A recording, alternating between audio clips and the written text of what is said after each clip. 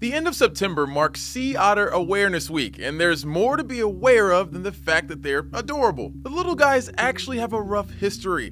The fur trade almost drove the species to extinction in the early 1900s. Sea otter populations have somewhat recovered since then, but they still face biodiversity issues. Take Mishka. She lives at the Seattle Aquarium, and she just learned how to use an inhaler. The Seattle Aquarium says she's the first sea otter ever to be diagnosed with asthma, and they have a few ideas about why why. Smoke from eastern Washington wildfires that came through the area in August might have triggered her symptoms, and a lack of genetic diversity in the species might be affecting their immune health.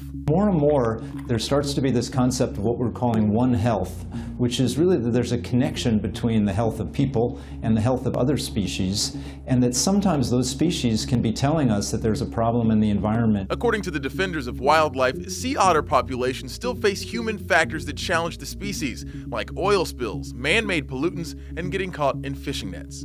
For Newsy, I'm Christian Bryant.